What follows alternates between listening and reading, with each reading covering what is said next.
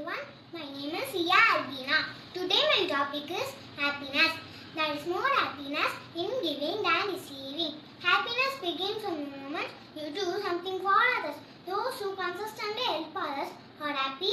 For example, Mother Teresa found her happiness to serve poor and sick. And she said, helping hands are better than